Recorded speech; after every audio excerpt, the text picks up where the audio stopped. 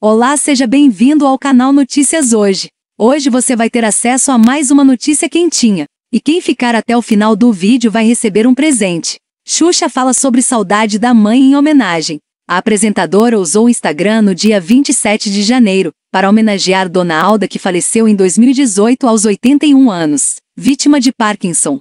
No dia 27 de janeiro, a mãe de Xuxa estaria fazendo aniversário e por causa disso, a apresentadora não deixou de publicar uma emocionante homenagem nas redes sociais. Nos comentários, muitos fãs e amigos de Xuxa se emocionaram com a lembrança e não deixaram de escrever mensagens de carinho. Parabéns, Dona Alda, vó Passarinha, saudades, comentou um amigo da família. Outra pessoa ainda declarou: Que dia especial, Aldinha vive dentro de nós.